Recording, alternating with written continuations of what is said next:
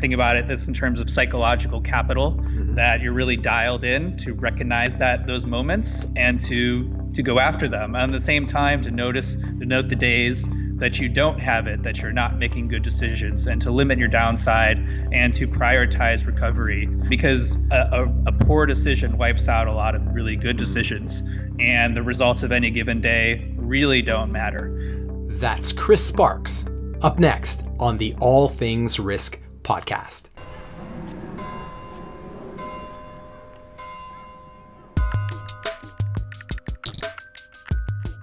Welcome and welcome back to the All Things Risk podcast. I'm Ben Catania, your host, and it hasn't been that long. This is our second episode in three days, and I wanted to get this one out for a while. It was recorded before the coronavirus lockdowns, and I didn't want to wait another week because it's such a great conversation, and now is a wonderful time to release this conversation. My guest is Chris Sparks. Chris is a professional poker player. He was among the top 20 ranked poker players for online poker in the world. And it is this experience of making just an exponential number of decisions that Chris has taken and applied and applies to help people in their work and for their personal growth. And if you've listened to a couple of our other previous episodes with Annie Duke and with Alec Torelli, you will know that poker is a game that mimics life because it involves decision making under uncertainty. And Chris has taken what he's learned in poker and his academic background, which, by the way, is in marketing and psychology, and founded a company called The Forcing Function, which is dedicated to empowering the next generation of entrepreneurship. And in this episode, Chris shares a wealth of very useful techniques to improve performance and deal with uncertainty that, even though we recorded this before the pandemic, right now are incredibly useful. And they include decision making techniques, what to do when things go wrong, why we are all mental athletes and the importance of mental training, what the World Economic Forum in Davos is like which Chris had just returned from when we recorded this, and a ton more of great things. So let's get into it. Here is Chris Sparks.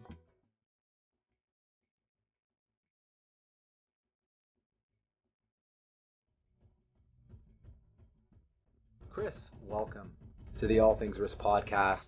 It's a pleasure to have you on and love talking about the the parallels between poker and life and all that good stuff. This is going to be a lot of fun, I'm sure. Super excited to be here, Ben. Thanks.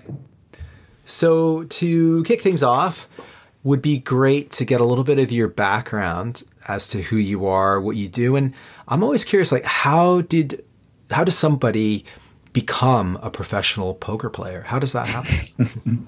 That's a yeah, it's a funny one. I, I, I always like to say uh, you're become a professional poker player when you just stop working. uh, it's it's it's you know there's a lot of people who label themselves as such. It's not necessarily a label that uh, means that someone is successful. It just means that that's the primary way that they spend their time. For me, taking the plunge somewhat happened because I was just more successful at it uh, in terms of economically than I was at other things. The quick background that I'll give: um, I've always been a games player. Was really into, you know, real-time strategy games, card games growing up, and uh, stumbled upon poker just from you know my other games friends say hey there's this other game you can play but you could actually make money at it and you know this was when i was you know 16 or so. And so real money was playing in 5,000 person free roll tournaments, right? Entering for free where first prize might be a hundred bucks, but you know, it was a lot of money at the time and would stay up, you know, all hours of the night, 12 hours straight trying to win that. And the kind of the big transition happened when I entered into college. Um, you know, so much of luck is timing and, you know, market cycles. And as I started college, poker is on TV all the time. So this is 2004. Chris Moneymaker's just won the World Series of Poker. Hole card cams are a thing, making poker going taking poker from one of the least interesting things to watch to one of the most interesting, at least you know at the time, if you're a millennial male. And if you wanted to spend time with other guys in the dormitory in the frat house, like what you did on weekends was play poker. And so just my natural gaming background gave me a big edge in these games, and I started to very quickly become, you know, relatively successful. Um, you know, paid off my tuition pretty early. Started off playing tournaments, had some early five-figure scores there. Um, won a large 7,000 person tournament right after I graduated for 135,000, and then decided to transition into playing cash games. So the difference between cash game and a tournament, obviously tournament you put down one buy-in and then you compete over a prize pool where the majority of the prize pool is at the top. Um, cash game, you are betting the money in front of you. Um, we call it table stakes. You can only bet what you have in front of you, and so you can get up and walk away at any given time. Primary advantage of playing cash games is that because you have an immediate realization versus playing for a very top-heavy power law um, prize pool, that you can have more consistent earnings. And especially at the time I was playing online, I started off playing 24 to 30 games at a time, which means I was having thousands of decisions per hour. And Holy cow. to get in get in quite a lot of experience in a short period of time where you had, you know, my generation of players, you know, by the time I was 23, I had played more hands of poker than guys who had sat in their casino their entire lives. Mm. And so, I mean, that's really the key to improvement speed in anything is the tightness of feedback loops where I'm making a decision and I'm getting immediate feedback thousands of times per hour on whether the decision I made was correct in terms of you know the result was within the range of possibilities that I had projected. So this kind of goes on during during college. I paid tuition, but you know I'm a Midwest guy. I'd always wanted to make television commercials, and so never really considered going pro. I accepted a job um, with Ford Motor Company out of college, and again the the the luck of timing, um, joining uh, the auto industry in the year of 2008 was uh, was not the best hmm. time. And the uh, week before I was supposed to start, Ford goes on a government mandated hiring freeze.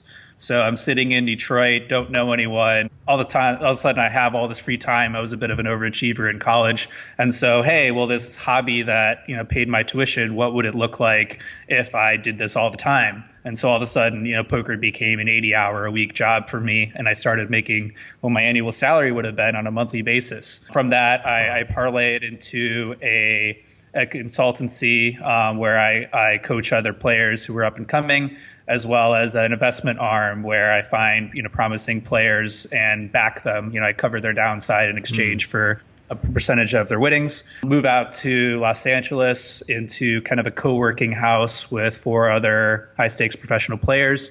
And before you know it, 2011, I'm ranked in the top 20 online players in the world for cash games. Fast forwarding a little bit, April 2011, on uh, the day we call Black Friday, online poker is shut down by the feds. That's a whole story in itself. Money laundering, bank fraud, all that stuff by the sites. I have half of my net worth seized, get some of it back three years later. And the the journey since then has kind of been a wandering of how can I apply all these lessons that I learned on the way to becoming one of the world's best poker players to you know helping others. Um, I'm very passionate about empowering entrepreneurship helping more people put things into the world. I also really enjoy working with active investors um, who make up a big part of my clientele, along with company executives. You know, what are the commonalities behind making excellent decisions with imperfect information? That's mm-hmm. essentially what poker was. So I got back into poker, kind of got lured out of uh, an early retirement in 2017. And so I kind of split my time 50 50 these days between my consultancy, the forcing function, and playing high stakes poker online. Wow. Oh, there's a lot there. And uh, I guess before we dive into some of this stuff, what did you want to, to do or be when you were when you were growing up? Did you have clearly online poker is a new career, so perhaps you you you did uh, have some inkling that this was an option, but did you have any other dreams or ambitions or things that you wanted to, to do with your life? Yeah, the I would say if I had a thread that ties everything that I've done together, it's understanding people. I've always been very fascinated by people, um, what makes us tick, and particularly the way that we make decisions. So, my dream from basically when I graduated uh, high school through to the point that I you know decided that maybe I should pursue this whole poker thing full time was I wanted to make television commercials. So all of my college involvement, internships, the job that I took at Ford being, you know, one of the largest advertisers in the world was all geared towards I want to make commercials for TV. I, I, I find the medium so fascinating and how do you convey a message through the visual medium that causes people to alter their behavior subconsciously. Mm. Essentially, you know, it's like TV commercials are essentially brand advertising. You're reminding the customer that you exist and you're associating your brand with some intangible value, right? You could see every commercial as a mini movie in that the brands are interchangeable. There's some sort of value as family or friendship or success or trustworthiness character like then you just kind of stick in your brand at the end and you create that association where by buying our product you will achieve this intangible value in your life and i found the the mechanisms behind that so fascinating hmm. and you know naturally translated into what i was doing at the poker table where playing a poker hand is telling a story that you get the other player to you kind of nudge them into making decisions that are beneficial for you.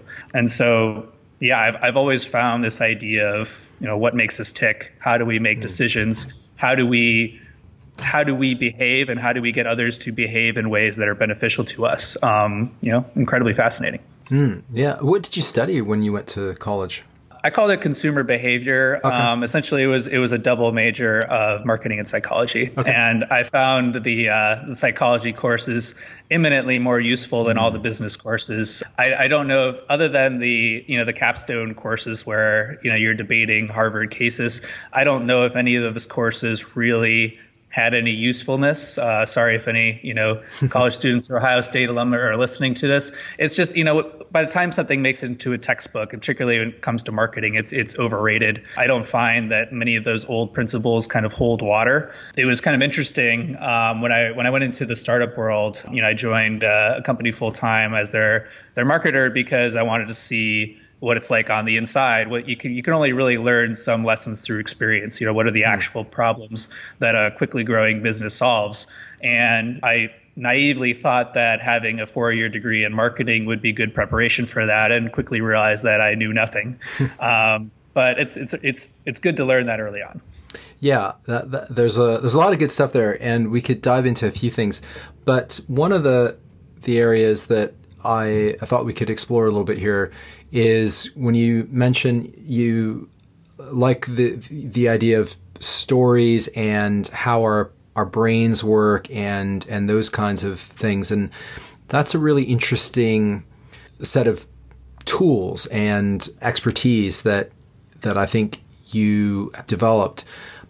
And conversely you know you you also poker is a as far as I understand it, uh, also very mathematically driven game, right? There's there's odds of you know of of uh, having a su- successful hand, and so you've got to apply some kind of logical, rational, calculated reasoning. But at the same time, you've you've just talked about how our how our brains work and our psychological traps and and those those kinds of things. That's a very powerful combination of those those two types of skill sets. I'm wondering if you could talk about that a little bit more around how you apply those those two things in the game of poker, and then perhaps we can talk about how you apply those skills in the work that you do with with your your clients. Absolutely. So, at a high level, poker is a game of equities, and so where where probabilistic thinking, where mathematics comes into play in poker is knowing you know what your chances of winning the hand are at any given mm-hmm. time. The problem is humans are the big blind spot in the system and it, it's a large unknown variable that you have to solve for. And so it doesn't help to know what your chances of winning the hand are if you have no idea what your opponent has because success is relativistic. You know, you don't need to have a great hand, you just need to have a hand that's better than your opponent's. Mm-hmm. And keeping in mind that many situations in poker are very, very close, where, you know, someone might write it, round it down to a coin flip, but you're actually 55% to win and pushing those edges, you know, recognizing them and over millions of hands in a lifetime, those edges, you know, add up to millions of dollars. Mm. And so being the the calibration that occurs all happens on the psychological side where you're you're constantly using, you know, Bayesian type calculations to determine what your opponent is trying to accomplish. What is their current state of mind? What is the story that they're telling and does it make sense? Right? So in poker, we have the concept of a range. You know, Richard Feynman has this classic story where he's he's listening to a, another scientist idea and he's creating a, a visual model in his head and he's adding on all the pieces, right? He has a ball and he adds fuzz onto the ball and he adds spikes onto the ball. And at a certain point, the ball falls to the floor because the story doesn't add up. One of the pieces of the model that he's building is, is inconsistent. And that's essentially what we're, what mm-hmm. you're doing as a poker player when you're both when you're when you're bluffing when you're trying to get your opponent to fold thus you know i have a stronger hand than you but also when you're feigning weakness that I, you have a strong hand and you're trying to draw them in is you're creating a story that is consistent. And so a range is you have all of the hands that your opponent could have and that range narrows as the hand goes on, right? You have these compounding probabilities. So I raise pre-flop from a certain position, and that that limits the number of hands I could have down. And then the flop comes, and I either bet or I check or I raise. And then the turn, and then the river. And you have all of these adding probabilities up, and the story that I'm telling like needs to be consistent, right? A hand mm-hmm. that I'm representing needs to remain on the ball in that range that I can have given the decisions I made throughout that hand. And so this understanding of of stories and how we construct them, how they remain consistent is really critical in poker because if you're able to tell a good story, you can get your opponent to do what you want them to do. You can get them to fold on command, you can get them to call when they shouldn't. And you you kind of manipulate their perception. You know, one of my favorite one of my favorite models for decision making is the OODA loop. So okay. um, the the part of the OODA loop is orient, right? You observe, orient, decide, act, and so orienting means you're take you're constantly taking your models of the world, your maps, and matching them up to the territory. Mm-hmm. But if you're someone who's able to control the narrative, your opponent's model is continuously out of date, and so in in OODA terms, you get inside of their loop in that they're acting on an incorrect model of the world. The, the way that they think these things are was true maybe five minutes ago was no longer the case. Um, a classic scenario in poker is you bluff them, you bluff them, you bluff them, and then you anticipate when they're going to counterpunch you, but you've already adjusted to quote unquote tighten your ranges so that you're much more likely to have it next time just at the point that they react right? You anticipate their reaction and, and you're already there. You're mm-hmm. being you're a level ahead of them. They you know that they're going rock eventually and you've already changed paper. It's it's it's really kind of cool from a game theoretic perspective that this ability to tell as well as read stories and the nuance in, in between the lines gives you a large edge in any pursuit where there's someone on the other side of the trade. Okay, there's a there's a lot of good stuff here and it's deep as well and very your your words are all are very measured so they you can tell they come from experience but for those people who are listening maybe and that either don't play the game of poker and this is really cool stuff so how did you learn to do that particularly with online poker right because you don't, you you don't see your opponents and and maybe that that might be an interesting place to start. You perhaps aren't in front of them and maybe not reading body language and maybe that's helpful i don't i don't know is that let's maybe start there is the fact that you're able to iterate a number of hands online. Do you consider that to have been an advantage in your, your development of these techniques?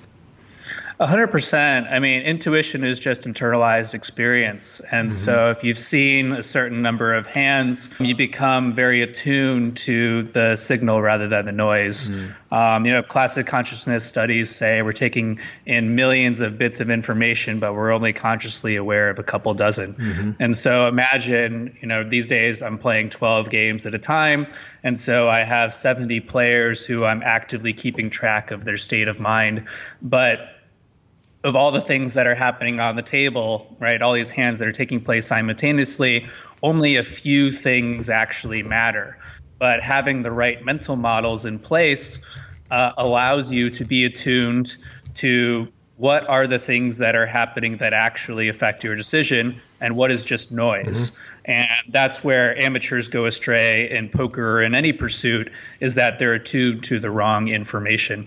Online is an interesting case because, as you said, you can't see the players, right? So an important piece of information is gone, right? When I'm sitting across from someone at a poker table, I not only have character things that I can use to calibrate on, you know, who they are as a person, mm-hmm. right? What they're wearing, what's their posture, you know what's their what's their mood you know how are they talking to others what are the topics of conversation what are they drinking there's like so many factors that are at play but not seeing someone having that source of information cut off does not mean that there's not still someone else on the other side of the screen right it's mm-hmm. there's there's just a technological intermediary that's blocking us but i can still suss out aspects of their personality of their state of mind it's just a little bit more noisy. So the speed with which they bet, what they type into the chat box, what their screen name, what their avatar is, and primarily their patterns. And so I can make a large adjustment to my model of the player, seeing them play a certain playing a single hand in a way that's super unorthodox. So if they play a hand very passively, I can update my model of them as someone who's likely to play passive in similar situations. And vice versa, if I see someone who's taking an unnecessary risk, they're they're bluffing in a spot where I'm unlikely to fold, I can assume they're going to perform the same way in similar situations. And the the meta advantage there is once I know they have a tendency, I nudge them into those situations where I understand their tendency. I multiply that edge, and so that's that's a key thing that a lot of people miss when they shift from live play to online play. Is all the signals are still there. That you just have to dig a little bit deeper. Mm. You still have that advantage of recognizing the pattern and exploiting it. Okay, and how how do you nudge someone into or based on their tendencies? So imagine that we're playing a hand, mm-hmm. um, the two of us, Ben, and the last hand that we played, I'm going to oversimplify here. We, we got to the river, all of the draws have missed, and you make a big bluff, and I call it. Mm-hmm. I say I just I just happened to have a big hand, and I was trapping. Right, so I call you. You feel a little bit dumb because you made a big bluff into me, and I had it, mm-hmm. and you rebuy in. And so I'm already thinking about how are you going to adjust in the future. Okay. And so I'm using the information I have about you to predict how you're going to adjust. Right. So in that scenario, certain player types are going to tighten up. Right. I just look silly in front of people making this big bluff. They're going to think I'm a bluffer. Mm-hmm. Thus, I'm going to wait till I have a hand. And so I can take advantage of that one knowing that the next time you make a big bet you're you're more likely uh, on average going to have a hand but also that you're going to shrink back from ambiguous spots right? If it's close i know that i more often than not can pick up the pot. That's okay. that's one reaction you could have. Another reaction you could have this would be more of a level 1 reaction is oh now you know now i'm down i'm losing i just made a big bluff i got to get that money back i got to show him and so now I know you're going to be a little bit more risk seeking, right? We tend to be risk seeking when we're losing due to loss aversion. I'm sure listeners are familiar with that literature. Um, and so I'm going to try to set you up to bluff again, sort of keep the ball in the air, give you opportunities by underplaying my hand, right? Seeming that I'm a little bit weaker than I actually am in order to encourage you to put more money into the pot, to think mm-hmm. that you mm-hmm. can take it away. Mm-hmm. But my response to this singular instance is completely contingent upon my read of you as a player and how you're likely to respond to this new information. Right. And would you say then that you've been able to the reading players and their tendencies? I mean, did you capture this I guess kind of intuitively over playing so many hands or did you use some systems to go back and learn from pre, you know from hands and games that, of poker that you played? How, how, did how did you develop a level of confidence around like I know that this this type or I know that th- these are the patterns that I would I would expect to see in this type of situation? Yeah I, I mean it it comes over a long period of time. I mean, I've been yeah. doing this for 16 years, played yeah. millions of hands, um, and so one aspect obviously is just when you play a lot of hands and you have an extremely tight feedback loop like mm-hmm. i said i can see what you had and i can see mm-hmm. was the hand that you had in the possibility set that i predicted right? right if it's in that set it doesn't tell me something but if it's outside of that set or that range i know that one of my assumptions is incorrect mm-hmm. and so that acts as a kernel for me to dig into and right. try to try to identify where in the hand i misread right? Was it that you were playing a hand pre-flop that you I didn't think you would? Is it that you played the hand more aggressively or more passively than I thought? Right? Try to pinpoint where I went awry in my model, and um, this is this is all happening in real time. Mm. Um, there's a, there's a great deal of off the table study that occurs, right? When I talked about poker as an 80 hour a week job, mm. only 40 hours of that is actually playing. The other 40 hours of it is studying primarily in databases. Mm. So, um, you know, being online, uh, everything is, you know, stored. Uh, you can go back and view hands at any time. Right. And so if I have any time I have a hand where I'm not sure where the correct move is, I, I save it and I and I analyze it off the table. Right. So these days, not only are there statistical tools where I can look at population level data and see how do people play this spot on average. That's usually a good place to start. Um, there are also machine learning tools mm. where you can play the hand out against um, an algorithm that simulated this, you know, brute force millions and millions of hands and see what is the game theory optimal approach, right? And usually the right answer will be somewhere in the middle and and really i think that's the key to all decision making right it's people talk about this in investing as like a decision journal is any hmm. decision mm. you make you're noting down what are the assumptions that are behind this decision at the time right every decision you're making with incomplete information right where are the mm-hmm. gaps what are the plate what's the value of information is any information i could have that would change my decision noting that down at the time and then later when you have the ability to be objective right you're a little bit more separated from it and say like what could i have known at the time which would have changed the way that i made that mm. decision mm.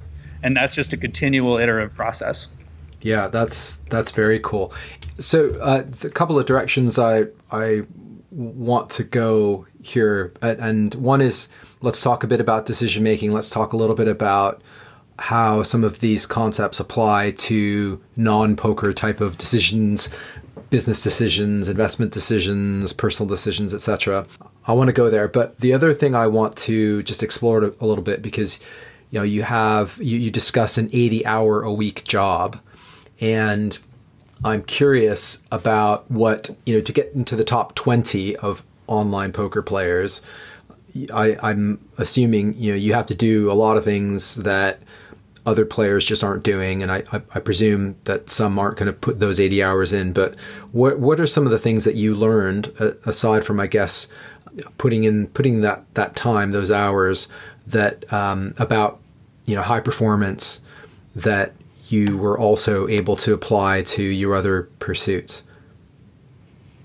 Uh, so many. Um, okay. I'll, I'll let's just, talk. Let's uh, talk about a few. Yeah, yeah, yeah. Um, I mean, first, the one that's really poker specific and that connects obviously is that you know peak performance comes from a match of doing the right things, mm-hmm. and so thinking about that in like founder market terms of you are you are you are playing the right game and that there are things that we are uniquely suited for that look like running up a wall to others and finding ways to double down in those areas. And so, I mean, that's that's a key to peak performance, which you know seems a little bit typological is identify the areas that you have an advantage where you perf- already perform well and mm-hmm. look for ways to lean into those areas. I, I, believe that that very strongly. And so, you know, a key to becoming the best for me was only playing in the games that I could be the best. Right. Um, there's a there's a critical balance there, right? You need to be playing against better players to sharpen the game, um, to sharpen your own game but knowing where your edge comes at any given time, right? That's that's the one that is the one thing that separates the players who are very talented from the players who make a ton of money is the players who make the most money play in the best games. Mm. You know where your edge is at any given time. I think an, a, main another thing that that really separated me was just self awareness and discipline. Mm-hmm. So I think that our level of performance is very dynamic. And so having a, a, high level of introspection to know when you have it on a particular day and when the, you know when's the time to go after it to back up the truck. Think about it this in terms of psychological capital mm-hmm. that you're really dialed in to recognize that those moments and to to go after them. And at the same time to notice to note the days that you don't have it, that you're not making good decisions, and to limit your downside and to prioritize recovery because a, a, a poor decision wipes out a lot of really good mm. decisions, and the results of any given day really don't matter. I, and then I, I would kind of transition there into just general peak performance, which is having the right habits, systems, and removing bottlenecks to resources, which I usually define as time, energy, and attention. Um, and I'll just kind of do like a high level overview of each of those yeah, five. Um, so I, I, have a, have a, free workbook um, which anyone wants to download. Um, it's at theforcingfunction.com slash workbook where I have uh, prompts and experiments that are designed to install these into your life with all my recommendations. Um, so feel free to check that out.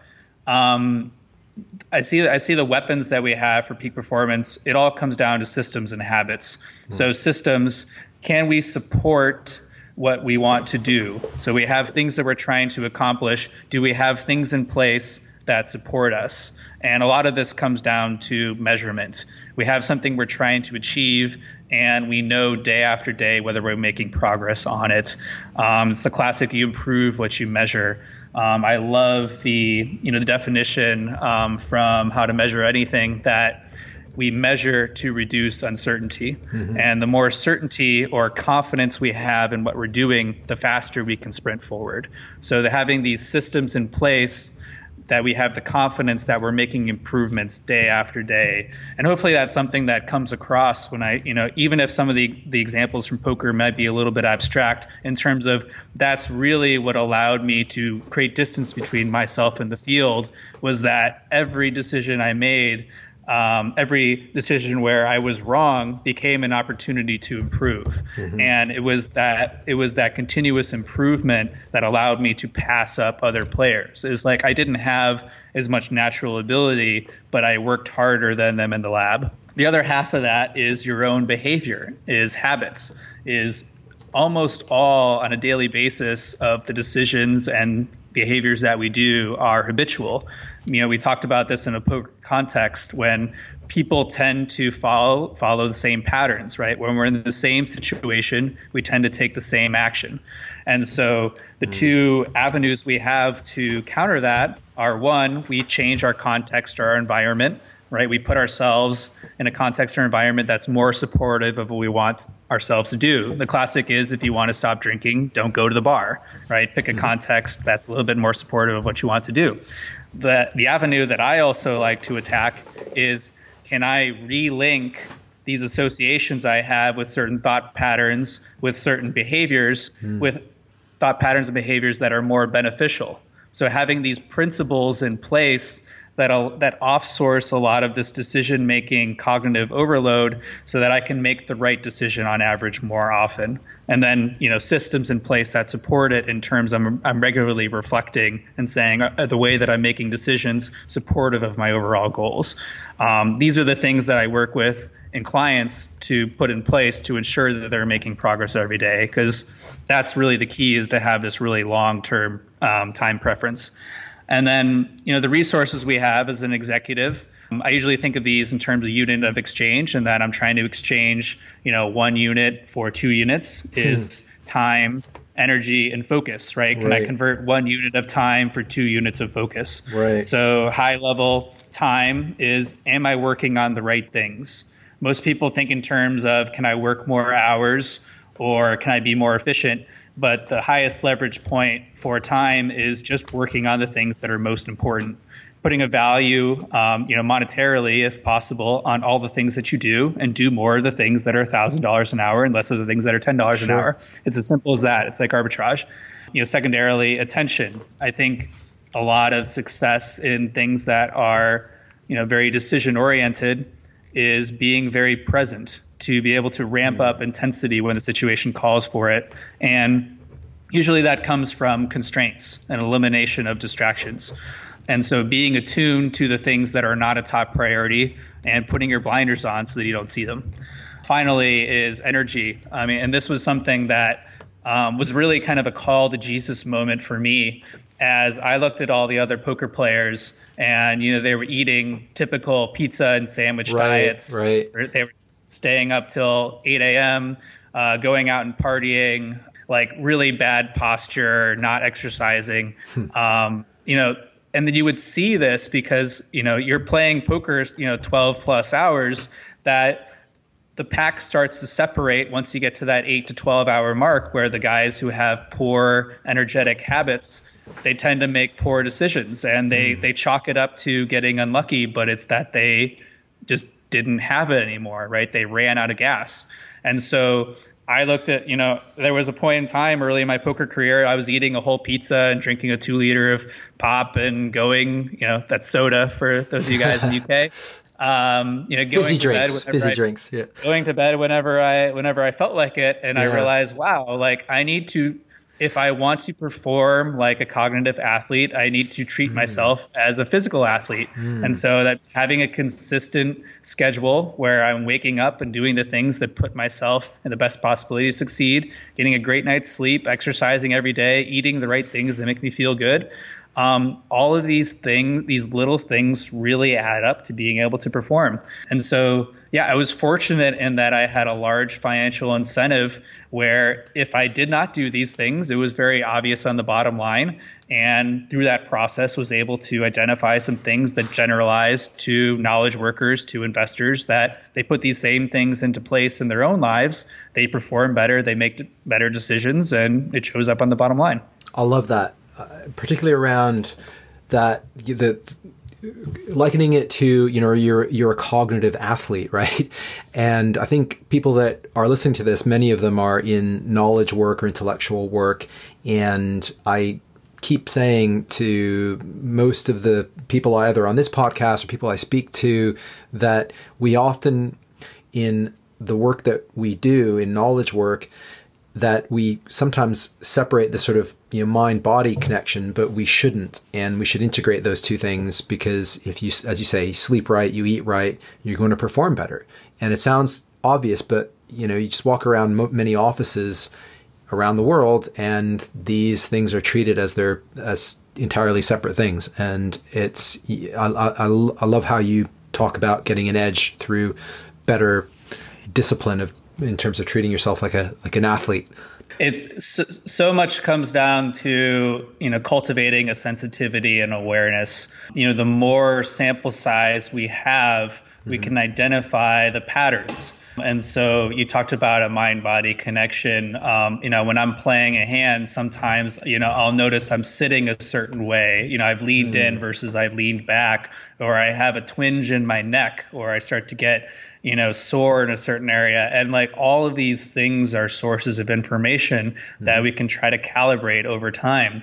But it it requires cultivating this awareness in the first place. Right. And I I think that's a big part. We've talked about feedback loops a little bit. I think a big part of why feedback loops are so critical to improvement is that we become aware of where things stand and thus our attention is drawn to right I, I, call this a forcing function. We we draw our consciousness to ways that we can improve this number. But without this awareness right without taking a hard look at things we aren't aware of opportunities to improve because we aren't aware that we need to improve in the first place. Mm-hmm. when you were trying to optimize your performance as a poker player where did you look for some of these insights that your competitors weren't looking. Because all of this stuff you you know is available to to people that come it comes from psychology, comes from all types of other sources. But uh, wh- where did you go for you know, this type of edge? Uh, I've made it a habit to look at peak performers in tangential fields mm-hmm. and try to identify things that they're doing that might be worth trying. Um, I think it's a, you know, as an investor, you're looking at things that can work in one market and can be imported to mm-hmm. another market. So I was looking at you know professional video gamers. Mm-hmm. I was looking at chess grandmasters. Um, I think there's a lot of literature from the military that's very mm-hmm. useful. Um, where where else? Um, believe it or not, you know I think a lot of decision making is you know process orientation. So um, some of the kind of manufacturing theory of constraints work is very useful. Um, chefs, I think I think if you look at Michelin star level chefs, um, they're more process oriented than just about anyone. I've taken a lot from there. Really, it's just looking at everyone as a potential expert. Mm. Um, you know, some areas, um, even now, I don't consider myself to be super knowledgeable, but I'm fortunate enough to have someone in my network who specializes there. So I'm not shy about asking them questions or even bringing them on as a partner when necessary. Mm-hmm. Cool. This is uh, all really great stuff. There's a wonderful study. I think it was in. I think it was maybe an article, maybe not not as much as a study, but there's a piece that I quite like that's been around for a while now. But it's uh, I think the title is "Manage Your Energy, Not Your Time." which um, mm-hmm. is what you you know exactly what you talk about. I, I love the concept of arbitraging those resources. It makes a lot of sense. It, really interesting to look at the world that way. There's a lot that I think my listeners can take away from from some of the stuff and the things that you describe in your your free book, which actually I looked at and has got loads of great stuff in it. So really cool. Could we talk about decision making and what you've learned and how what you tell your clients about decision making that you've you've learned from the poker space? Hmm. All right. I, um, one thing that comes to mind, I like this idea of continuums. And so, one mm-hmm. continuum that I'm in favor of is confident on one end and critical on the other end, right? Okay. So, fully confident decision making is I am completely sure that I am right and I am never going to second guess myself. Okay. And you know, this is just this is just what I'm doing. And the critical end of the continuum is I'm not really sure. I need to look into this more. I want to ask others. Um, and usually, uh, both being aware at any, any, given time where you stand on that continuum is useful, but also when it can be useful to go to the extremes. Um, so this is a big thing that I talk about in Experiment Without Limits is you have experimental periods. Mm-hmm. Uh, a huge a huge problem that that we have with decision making where it can be become very willpower draining and cause mm. us to get stuck is that we we are never 100% sure about anything and if you're waiting to be 100% sure you're waiting too long because the way that we gain the most information is by experience and so i'm trying to come up with models that allow me to quickly make a decision because most decisions generally are pretty low risk. A lot of things are, are reversible or you can course correct at any given time, but then have systems in place that allow me to regularly reflect on that. So I'll, get, I'll give a, a more tangible example. So this could be you know a marketing channel right you're, you're, there's three different marketing channels that you want to pursue so for for you know, sake of example, let's say it's all right, we, we could do some direct mail, we can do Facebook, we can do cold call. And there's pros and cons to all of these different options. Um, I have a, uh, a spreadsheet where you can, you know, play with the numbers a little bit. If you want to link to that in the show notes, mm-hmm. um, theforcingfunction.com slash EVC, Veles expected value calculator. Mm-hmm. Um, and the power of this exercise is that you actually identify which of the criteria are most important or the crux, right? What does this decision rest upon? There's usually one factor above the others that comes to be importance. And by recognizing that factor, you can see where you have the most uncertainty, where you would be you would find it the most beneficial to test some of those assumptions. Putting that aside for for the second, you use a model like this to choose. All right, well, all three of these options are pretty good, but based on what we know right now, let's say the direct mail seems the most promising. Mm-hmm. And the worst case scenario, you see this in tons of organizations, is that they start with the, they start down this path, but the whole time they're second guessing themselves, like, oh well, we haven't really had any results yet. Maybe we should have gone with Facebook after all. Mm. But that's the power of these experimental periods. Is you say, all right, for the next quarter, the next 90 days, we are going to act as if we are 100% confident that direct mail is the absolute best marketing channel for us and we are going to sprint head first and say, how can we get the most out of this channel?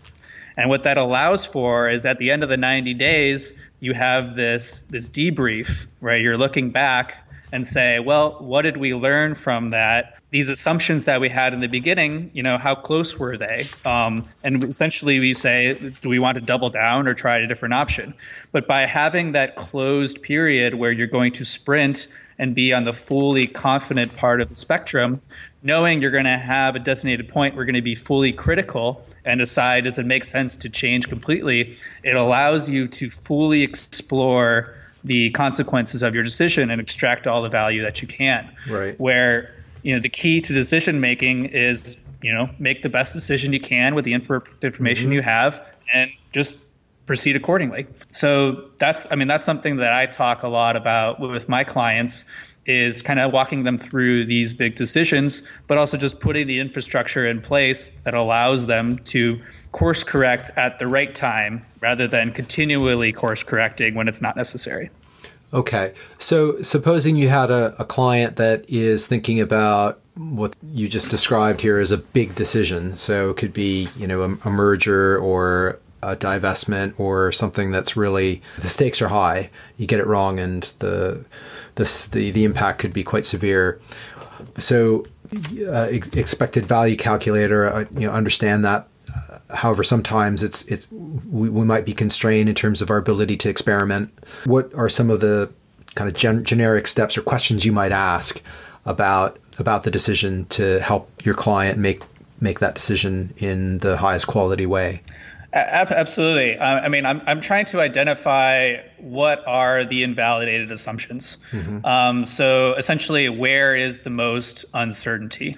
Mm-hmm. Um, any any you know complicated decision where there's a bunch of intangibles can essentially be reduced down to some form of calibrated estimates of what do we know and where do we not know very much mm-hmm. and trying to get those within some sort of range and as i said i think I think the goal of making any decision is trying to identify what are the factors that really matter, right? We mm-hmm. talked about this early on in terms of signal versus noise, and that more information is not necessarily better because it can it can be irrelevant, and we can get mm-hmm. buried in things that aren't actually part of the regression analysis. You know, they don't actually contribute to mm-hmm. what the factors that matter, and so identifying where we have the most uncertainty, identifying what are the assumptions that the model hinges upon, and ideally trying to create some sort of experiment to reduce that uncertainty, which maybe this means going to someone in a different department and sitting down with them.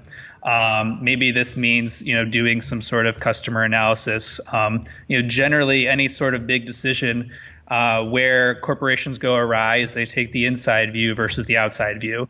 Usually, there's mm. some you know everything that's occurred has happened in sim, some similar form before. So you said a merger, right? Let's look at all mergers that are of this type. You know, taking our unique snowflake situation aside and say, how have these mergers performed on average? The ones that went mm-hmm. wrong, why did they go wrong? Are there any factors that we can recognize here? It's like once you take things you know to the outside view make it a little bit more objective and say in general how do these mergers perform you kind of get get the ego out of it. It, al- it allows people to be, to be a little bit more objective, and it mm-hmm. tends to make these these ranges of estimates a little bit more compressed. Mm-hmm. You can mm-hmm. work with them a little bit more. So yeah, it's it, everyone. I think everyone here is familiar with kind of like the Fermi calculations, right? Where you can you can you can reduce down. Uh, this originally arose to like what are the chances that there is life in out of space? Right. And we say, okay, well there's there's these number of galaxies and each galaxy has this mm. number of stars this each star has this number of planets and each planet has this percentage chance of being hospitable to life and each time that life has sprouted you know it has made it past the great filter and hasn't destroyed itself et cetera et cetera where you can you can take something that's incre- feels incredibly complicated and reduce it down to a series of things that are actually pretty easy to estimate and are relatively known. And so, yeah, that's that's kind of what I would try to guide them through is that deconstruction process. Yeah, that's that's really cool. And I believe that similar techniques can be used for you know personal decisions, right? That our signal to noise ratio is pretty high nowadays, which is the, the, I think that's where a lot of people struggle with decisions in their in their personal lives. But I would you would you similarly advocate a technique along those lines? As far as you know, cultivating so, your information diet. Yeah, yeah. So, for example, maybe the decision is: should I, you know, should I move and accept an opportunity in another country, or uh, something, you know, something along those lines, right? You know, you've got a lot of other factors in terms of maybe people in your life to consider you, you, you there's a lot of incomplete information. There's a lot of there's a lot of noise in terms of what um, what you might be expected to do. There's a there's a there's a lot of online information that could be quite distracting. And and so how would you go about making a decision that might be related to a you know personal uh, lifestyle choice for example Man, yeah, I feel like I, I might be repeating myself. Okay, maybe that's a good thing, and that, and that uh, the, the, methodology is similar because yeah. uh, you know the expected value calculator I um, I referenced earlier. That's how I've decided. You know, every city that I've moved to, okay. every position that I've taken, it's pretty it's pretty nimble there. Yep. Um, and essentially the process is the same in that you're trying to identify what the critical factors are and gather more information on that critical factor to you know validate your assumptions a little bit. Yeah. And so let's say let's say you know in that scenario you gave you know moving to a new city and taking a new job right you would need to break those apart a little mm-hmm. bit you know generally any any dichotomy is a false dichotomy it's like well let's think about the job separately from the move right. um, you know it's like and uh, i'm also again this is it, whenever possible try to form some sort of experiment where you can quickly gather data. Yeah. I mean, in startup terms, this is the classic MVP, right? Yeah. Don't go out there and spend $100 million on a product before you've, you know, yep. validated it in the market. Come up with the crappiest possible thing that you can at least see, like, am I thinking about this problem in the right way? Does this problem exist, and are people willing to pay? So, I mean, the example that you've given, I'll just use a, I'll use a personal example that'll mm-hmm. hopefully be illustrative. So, you know, when I decided to move to New York for the first time in 2012, I had never actually been here. I mean, New York was kind of an abstraction to me, but, you know, I made a spreadsheet of the different places in the US that I wanted to live, and New York came out on the top. And so I did what any rational person would do is I booked a flight for the next day and got an Airbnb for a month. And like I said, with the experimental period, uh, I was you know, operating on the assumption for that month that I now live in New York, and I'm going to act as if I now live in New York. And at the end of the month, I'll see if I want to stay or stick around or try somewhere else. And you know, luckily, it's been a huge fit. I mean, I'm I'm incredibly happy here. Every day is super interesting and fulfilling. But had the 30 days not gone as planned, I would have been okay. Well, what's option number two? Let's try mm-hmm. that. And I think the power there is you we take these these big decisions which there's so many unknowns and it's much easier than we think to test some of those unknowns mm-hmm. and you know decompose what seems like a large decision into smaller component decisions. Um, so whenever possible, you know, trying to construct these experiments in order to test. Um, that's that's my average recommendation. Love it, love it. That's great stuff. I also wanted to talk about overcoming setbacks because obviously that happens in the game of poker. I presume there are you know loads of lessons that you gathered and that are applicable to all types of you know the, the non poker world and the work that you do with the forcing function. Could you talk a little bit about some strategies that you have employed when say a hand doesn't go your way and you know just something just goes wrong and and, and what do you do to to overcome that and bounce back? Yeah, it's it's something that I think about a lot, right? It's you know, as a, as a poker player, you're you're essentially professionally getting punched in the face over and over again, yeah. um, because you know short-term results are incredibly noisy, and you can mm. play very well, and the results can go against you. Mm-hmm. Especially if you're playing tournaments or in the live arena, it's not it's not uncommon for a winning player to go you know months or over a year of losing but you know still making good decisions. And you know obviously built into that is many times you know bad luck leads to bad decisions that you know we have a hard time maintaining discipline when things are going against us. Um, and so you know reduces down to i think you know our biggest bottleneck once you reach a certain stage of freedom is you know what gets you out of bed in the morning. And you know when you've when you've lost six figures at the poker table it, sometimes it can be difficult. And that's where habits are really key I talk about this in the habits and routines chapters. You know, having the things in place where you're continually going through the motions as if like today is going to be a great day and I'm today is important, so I need to set myself up for success. Keeping up with those routines, continuing to go through the motions goes a long way for you know, mm-hmm. preventing yourself from digging yourself into a hole. Mm-hmm. Um, I talk about this as well in the uh, the mental game chapter in the context of a fire break. So, mm-hmm. um, if anyone has ever seen, you know, firefighters dealing with a large forest fire, um, the technology hasn't changed in thousands of years. Essentially, you dig a hole around the fire. And so if it's, you know, a giant forest fire like the ones happening in California, you're digging a very large circled hole. And the same thing applies to our own lives is, you know, whenever we have a big setback, we we dig a hole around it, right? We create a fire break so that we prevent the damage from spreading. Mm-hmm. Um, so, you know, the habits that I've found really beneficial for getting back on the horse are you know some form of journaling you know writing about it getting things out of their head out of your head where it's always less intimidating. Uh, gratitude you know doing anything you can to reaffirm to yourself just all the blessings you have in your life people you know situation etc um, and then finally like using it as an opportunity to improve, right? Seeing seeing what you extract in terms of lessons from it, um, and identifying you know ways to move forward um, as part of you know regular review process, which is a habit as well. I, I always like to keep kind of a, a, list of activities that you know make me feel good, that inspire me, that kind of get me going. And you know, whenever I've had a setback I prioritize doing these things that, you know, self care is not selfish, that, you know, my top priority becomes getting myself back up to a, to a position of peak performance.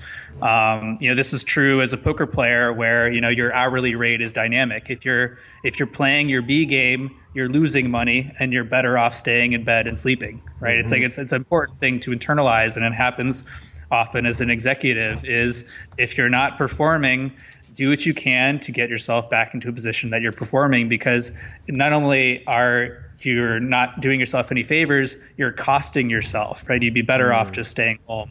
And it's an important thing to internalize that recovery is something that should be prioritized when you've had a setback. But a, a lot of that comes to, you know, both having those habits in place, trusting the system, and when you have the setback, having the discipline to do the things that you know will make you feel better. Mm-hmm.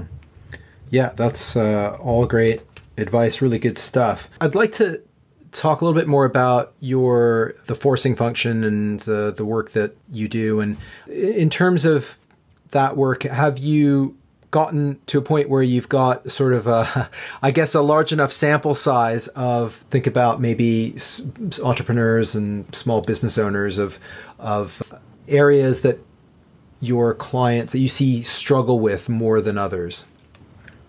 Yeah, absolutely. I think I think assuming someone has reached a a stage of let's say productivity and that they can reliably have you know level of consistent output day after day right having mm-hmm. some routines and habits and systems in place you know that that's that's kind of the the first milestone um, and you know that that can be varying levels of messiness right if mm. having worked with some of the in my opinion most successful executives in the world like a lot of them would kind of refer to themselves as procrastinators or disorganized or mm-hmm. unproductive but they still manage to get shit done when they need to so the you know the assumption is you know someone has reached this point if not you know solidifying habits and systems is always is always the first step um, the commonality at that point that I see is just a failure to plan and prioritize. I, I think that Uh, hopefully this has become you know a theme throughout the day. Is like I see our lives as this continuous feedback cycle and that we plan right? What do we want to do? Why is that important? How are we going to do it? And then we execute or in my words experiment. We run head first on what we think the best plan of attack is and we collect data so that we can see that when we finally three reflect you know what did we learn? Was that the right move? Should we have done something different? Like what could we have known at the time that would change that decision? And that reflection gets fed back into the plan and, create, and completes mm-hmm. the loop. And so I, I, see a lot of otherwise very high performing executives missing two critical parts of that loop and that they're not planning out their days, their weeks, mm. as far as what are the top things that they need to be prioritizing, the classic important but not urgent things. Mm-hmm. They tend to get sucked into the reactive, the things that are deadline driven that are being pulled out of them. And they're they're not taking the time to regularly reflect on what's working and what's not working. Really it comes down to working smarter, not harder. And that's that that's a framing of the conversations that I have with a lot of executives, which frankly feels like cheating sometimes and that the question is hey you said uh, you know for example your priorities for this month were you know hiring raising money and finding a new product line and i look at your calendar and you're spending you know 10 15 and 5% of your time on those th- on those three things mm-hmm. so like are they not your priorities you know mm-hmm. if they mm-hmm. are why are you only spending 30% of your time on them and I always like the portfolio analogy is the nice thing about tracking where your time is going is you just recognize, oh, well, that's interesting. The things that are my priority, I'm not actually spending that much time on. You can rebalance your portfolio so that your schedule becomes a little bit more in alignment with what you set as a priority.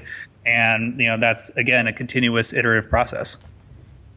Yeah, I think it's interesting that you say that a lot of, you know, top executives don't do that because I think we all struggle to do that. But it's interesting that you say that top executives uh, sometimes or often don't do that. That that's what you that's what you see. I guess you're you're trying to help certain people get that that edge, that that sort of one to three percent performance improvement that could be quite transformative.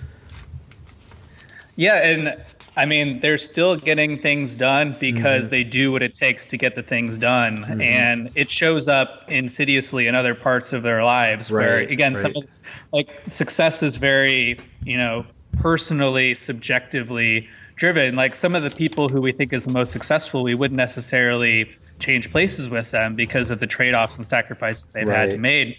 And unfortunately, for some of these guys, it shows up in poor health lots of stress. Um, they don't get to see their family or kids as much as they would like. Mm-hmm. They don't really have outside hobbies, right? Mm-hmm. And they, are constantly sprinting. And as we were talking about with the poker players who fade on hour 10, you kind of see this in terms of burnout. And a lot of them go on sabbatical or take a break or don't reach the levels that they could. And so, you know, I'm very big on, you know, let's create some hard stops and how can you get all the things you need to done and and still leave the office at 5 p.m. to go see your friends and family mm-hmm. and kite surf and do the things that you love. And being effective is very different than getting the things done. And so having these right systems in place where you're spending the time on the priorities, it allows you to have time for the other things to recharge so that the things that actually matter, you're able to show up fully. Cool. Right, we've uh, we've covered a lot of ground, and I know that you've got a a stop coming up. I know you're in Davos recently, and I'm just just curious what that was like, and what you uh, what you learned at Davos this year, what you think of the whole Davos thing. Uh, man, I'm still consolidating the lessons. I, I just got okay. back uh, yesterday. Um, you know, the, my reason, my interest in going is, you know, I'm always I'm always looking at the bleeding edge and I'm curious, you know, what the top people are doing. So you have, you know, some of the top executives, investors all converging on this tiny ski town in the middle of winter. And I'm just curious why. And I want to peek behind the curtain and see what can be gleaned. Uh, what are these guys doing that we can learn from? Um, and it is very, it was very interesting for me to see we were talking about stories earlier, the amount of tension, attention that um, these executives have put into story, mm-hmm. the stories that they're telling about the companies they're in, and the stories that they're telling about their own personal brand and their place within mm-hmm. those companies. And it made me feel a little bit self-conscious at times of wow i could use some some work on crafting my own story but then you realize hey this is what you know these guys sit on these panels and go to these uh, you know World Series of networking type events professionally, and so you know seeing this as not a setback but an opportunity that hey here's here's how high the potential can go right? Here's here's here's where you can be if you you know some of these guys are you know 30 years into their career like this is this is the north star that you can shoot for. As far as yeah i'm just learning I,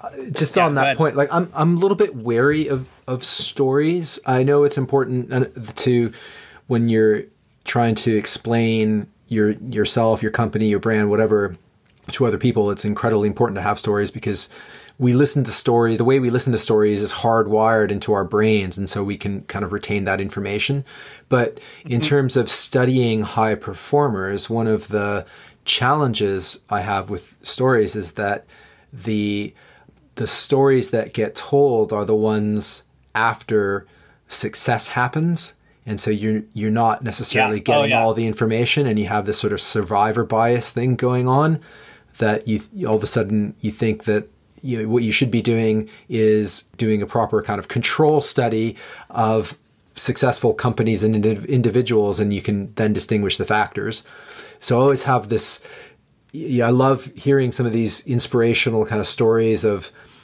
of, of leaders, but at the same time, I'm I'm skeptical. So I don't know if you have a, just as a you know very analytical thinker, what you what you make of all of that. 100% I'm on the same page. I, I, always talk about be careful about overgeneralizing from a single example mm-hmm. because, you know, it's very hardwired into us to have this narrative bias. And, you know, it's like I've, I've kind of made a living on capitalizing on that. Mm. And my, my, my point is that there, these guys are professional storytellers, and especially when you have you know 30 seconds in front of someone to make that classic elevator impression, mm-hmm. Having something packaged in the right way where you're memorable, they can tell at a glance you know what you do, what you're about. Um, in a word, you know legibility, right? You're you're understood for what for what the the brand you're trying to convey. That's what I mean in terms of skill. Mm. Now, do I take any of that at face value? I mean, certainly not. And it's it's something that I think a lot about because I mean, as maybe a listener from this conversation can tell, I think the truth is much more nuanced than can be explained in a single single example. But the the simple truth is like this is the way that you know connections are made that people take in lessons and so to neglect the the fabric of the way that we you know find meaning in the world doesn't doesn't seem like the right approach either right. um, and yeah and like in the you know the classic biographies the uh, you know what it takes you know yeah. what i learned on my way to the top not necessarily the best source of information I always try to go to the source. And so that was my idea of going is I mm-hmm. had all of these preconceived notions of what happens in these places and I thought there would be a lot to learn by using my own eyes and ears. Yeah, super interesting. Just as you were talking as well, it's also important not to fully buy into one's own narrative as well, which I think can also happen in these cases, right? Yep. Cool. Any other thoughts from the, the Davos experience that uh, you uh, you took away? Hmm.